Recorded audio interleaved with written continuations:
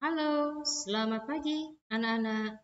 Nah, tidak terasa ya, kita akan buka buku baru lagi. Nah, sekarang kita buka buku yang baru yaitu buku tema 2H.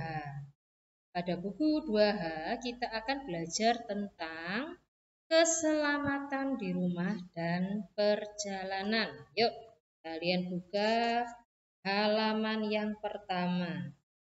Nah, untuk subtema pertama, subtema yang ke satu, kita akan belajar tentang aturan keselamatan di rumah. Nah, sebelumnya, eh, kalian tahu tidak aturan itu apa? Ya, aturan itu sesuatu yang ditulis maupun tidak ditulis yang berguna untuk menjaga keselamatan diri atau keluarga atau orang lain di sekitar kita. Ya. Nah, coba uh, kita lihat gambar di sini. Ibu sedang memasak ya, ini. Nah, kita lihat aturan apa saja kalau ada di dapur. Nah, yang pertama, jika sayur sudah matang, kompornya bisa dimatikan. Nah, itu salah satu aturannya. Mengapa kok dibiar, tidak dibiarkan menyala saja? Ya, kenapa harus dimatikan? Supaya nah, tidak terjadi kebakaran atau mungkin ada ada adik yang kecil tidak sengaja memegang, waduh nanti terbakar tangannya. Ya, nah pada itu setelah digunakan kompornya harus segera dimatikan. Ya, dan ada banyak hal lagi yang ada di dapur ya, aturan-aturan yang harus kita dengarkan. Nah, ini biasanya yang mengingatkan adalah mama karena mama yang apa suka memasak ataupun menyiapkan makan untuk kita semua ya, sekeluarga ya. Nah, sekarang kita beralih di gambar satunya. Nina. Wah, apa yang terjadi dengan Nina ini ya? Oh, ternyata airnya tumpah. Nina membawa air di dalam gelas dan ternyata gelasnya jatuh dan airnya tumpah. Nah, jika ada genangan air, kita harus segera membersihkannya. Mengapa? Supaya tidak terpeleset. Ya. Nah, jika ada yang lewat tidak terpeleset. Oke. Sekarang gambar berikutnya. Nah, ini ibunya Nina mengajarkan Nina lagi. Uh, Nina ingin makan apel, tapi karena Nina masih kecil, ibunya mengatakan, sini biar ibu saja yang mengupas apelnya, karena pisaunya tajam. Nah, mengapa? Ya, karena ibunya takut kalau Nina, kalau pisaunya mengenai tangannya Nina. Nah, ya, bisa berdarah nanti ya. Sekarang kita lihat gambar berikutnya. Nah, ketika ini misalnya siapa ya yang rambut kriwul ini ya, lupa namanya. Nah, itu berada di rumah sendiri. Nah, dilihat ada yang mengetuk pintu. Jika diintip, kalian tidak mengenal siapa itu. Nah, sebaiknya tidak kalian buka pintunya. Ya, kenapa? Karena kita tidak tahu apakah orang itu baik atau berniat buruk. Nah, dari itu kita harus hati-hati. Nah, itu kalau kalian sendiri di rumah. Kalau ada orang tua, sebaiknya kalian beritahu orang tua dulu. Ma, Pak, ada tamu. Nah, coba dilihat, Ma, Pak. Kalau ditanya, siapa siapa Shell misalnya ya, tidak tahu, Ma. Nah, nanti pasti Mama berdiri sendiri, lihat sendiri. siapa orangnya. Kalau kenal, pasti mama pasti pintu ya. Oke. Sekarang kita berlanjut ke halaman 3.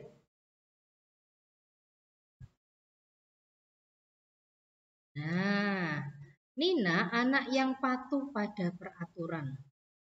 Rumah Nina jauh dari sekolah. Nina selalu bangun pagi agar tidak terlambat tiba di sekolah. Kita perhatikan ya, jarum jam pada kamar Nina. Nah, ini jamnya menunjukkan pukul 5 pagi. Ya, mengapa dinamakan pukul 5 pagi? Karena jarum pendek menunjuk angka 5 dan jarum panjang menunjuk angka 12. 4 ya.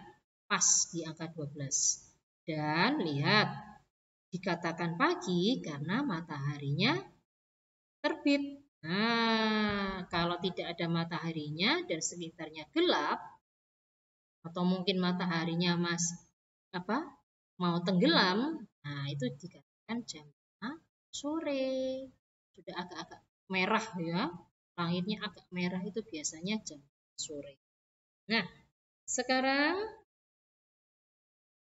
kita lanjutkan di bawahnya setelah bersiap dan sarapan pagi Nina pun berangkat sekolah Nina berangkat ke sekolah diantar oleh ayah. Nah, kita lihat jamnya. Kita lihat jam dindingnya. Nina berangkat sekolah pada jarum kecil di angka 6, sedangkan jarum panjang di angka 12. Ini bisa dinamakan Nina berangkat pukul 6 pagi. Ya.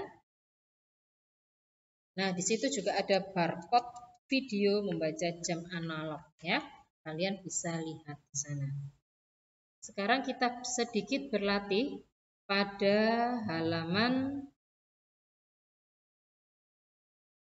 4 ya. Kalian coba dengarkan suaranya Bu Vivin ya. Di situ ada gambar Nina bersama teman-temannya juga ada jam, apa, jam dindingnya yang menunjukkan jam itu ya. Kemudian saat gambar satunya itu adalah gambar yang kedua. Nina sedang makan siang ya. Nah, isilah titik-titik berdasarkan gambar di atas. Gambar yang pertama, Nina pulang dari sekolah pada pukul, kalian lihat jamnya. Kalian lihat jam dindingnya. Jarum kecil menunjukkan angka berapa? Ya, 11 jarum panjang di angka 12. Berarti Nina pulang dari sekolah pukul 11.00 atau dikatakan 11 siang, pukul 11 siang ya. Boleh kalian tulis pakai kata-kata, boleh kalian tulis pakai angka. Kalau kalian menulis menggunakan angka seperti ini.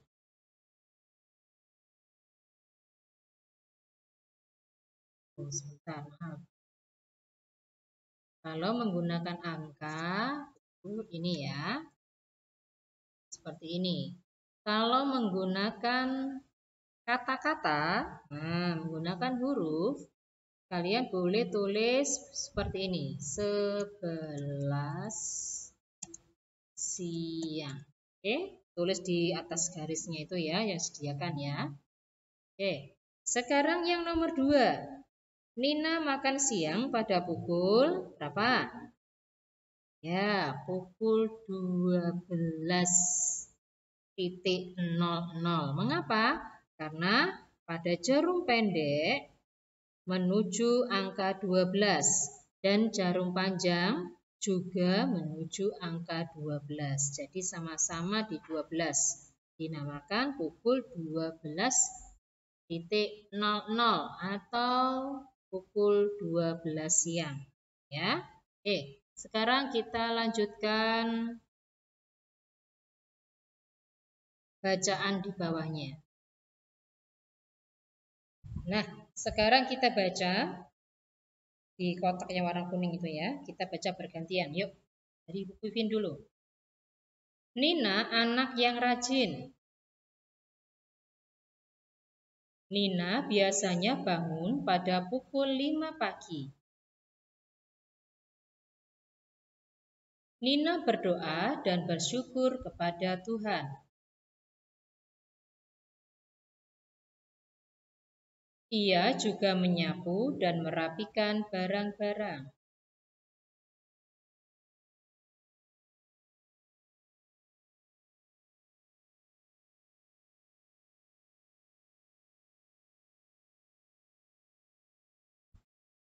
Selesai membersihkan kamar, Nina pun mandi.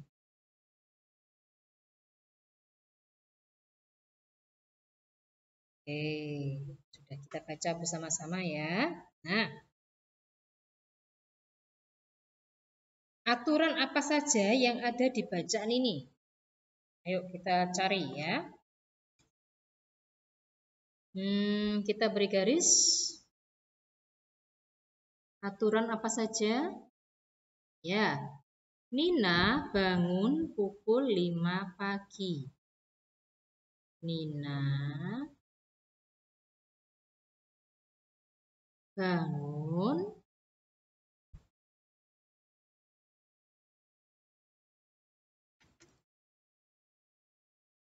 pukul 5 pagi. Nah, Nina kemudian beribadah atau berdoa ya. Nina setelah bangun langsung doa. Berdoa dan mengucap syukur. Nah, setelah itu, nah Nina merapikan tempat tidur.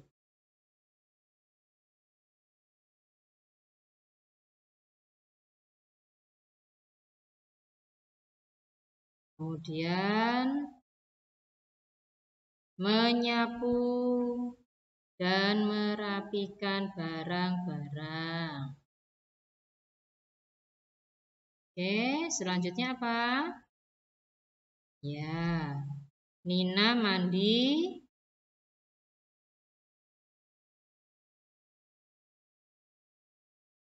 Dan bersiap pergi ke sekolah.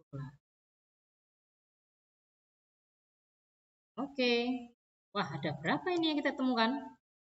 Kita lihat. Satu, dua, tiga, empat, lima, enam. Nah, baru bangun tidur mau ke sekolah aja ada enam aturan. Nah, ya, ini aturan yang tidak ditulis, tetapi baiknya kita lakukan ya setiap hari. Supaya apa? Supaya tidak terjadi ini loh. Nah, ya, tidak terjadi seperti ini yang kita lakukan ini juga melatih tanggung jawab kita ya supaya kita anak jadi ma, apa anak mandiri ya siapa yang mau jadi anak mandiri apa itu mandiri besok kita bahas oke nah sekarang kita lanjutkan di halaman 5 kalian masih ingat kan tentang penulisan huruf besar atau huruf kapital? Ya. Penulisan huruf kapital digunakan pada awal kalimat.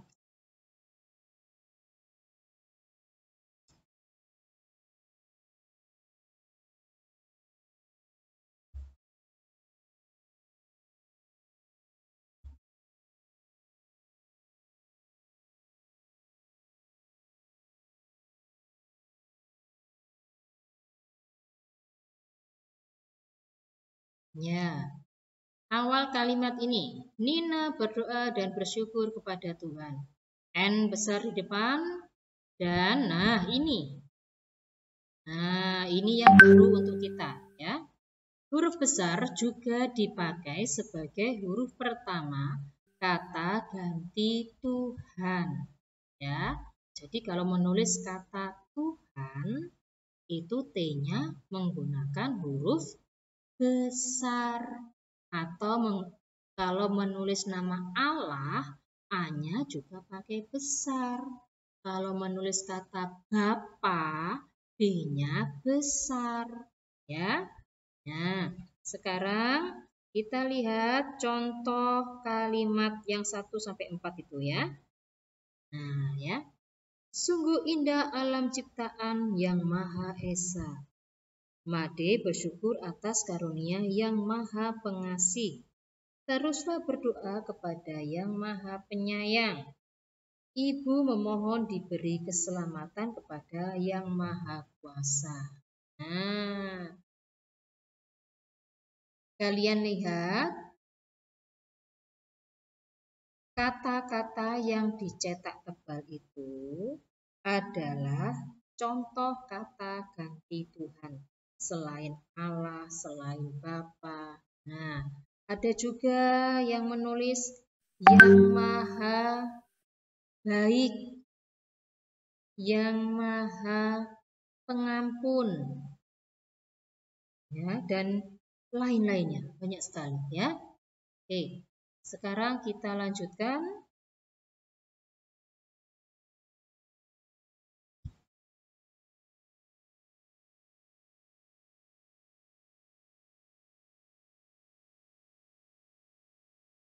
Nah, kita lanjutkan dengan bernyanyi ya.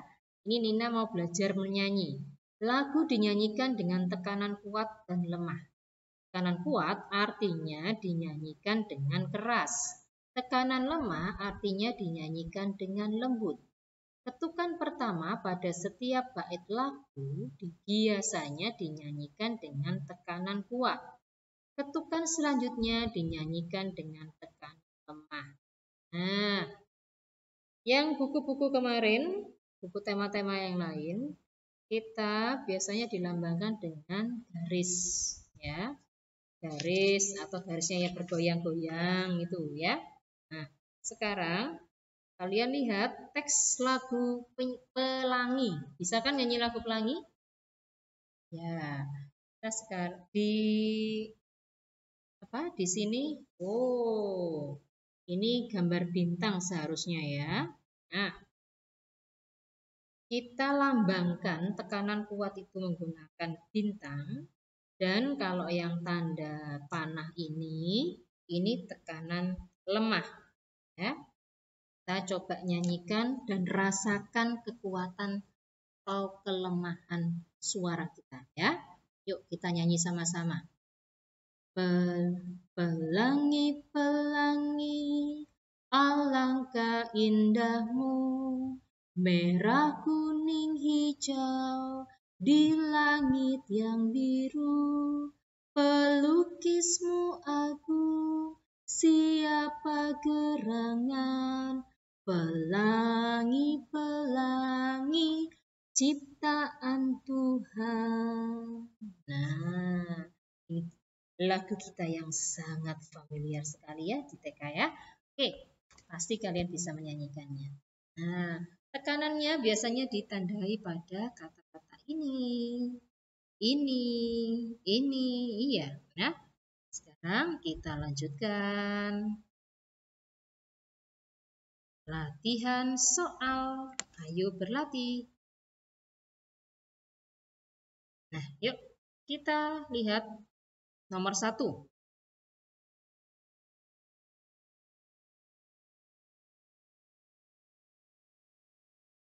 Pada nomor satu, di sini ada sebuah jam.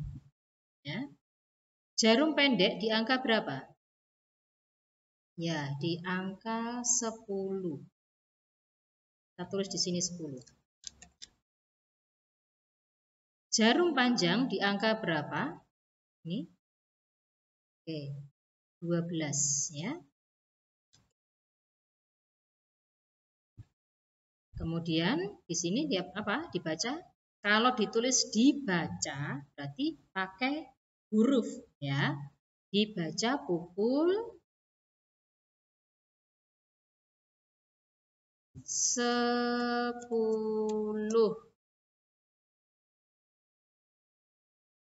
pagi ya.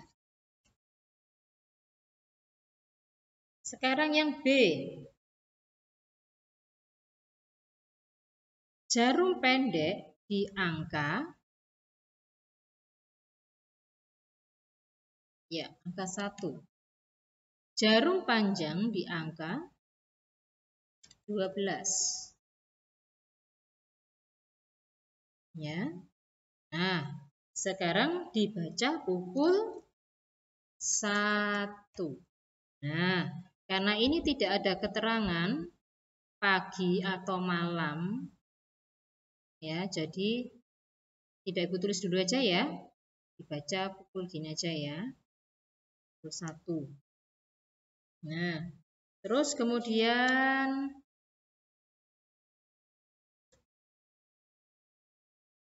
yang C dan D coba kalian kerjakan sendiri ya seperti contoh nomor A dan B oke saya tidak perlu diberi pagi atau siang karena ini tidak ada keterangannya ya. Hanya dibaca pukul berapa itu aja ya. Kemudian yang nomor dua ini kalian tulis di buku bahasa Indonesia. Kalian mengingat kembali bagaimana cara menulis huruf kapital yang benar. Jangan lupa gunakan huruf tegak bersambung yang rapi ya. Oke. Kalau ada pertanyaan kalian bisa aku Pipin ya. Oke. Sampai di sini dulu pembelajaran pertama kita di buku 2H. Sampai ketemu lagi besok ya. Oke, selamat pagi anak-anak. Dadah.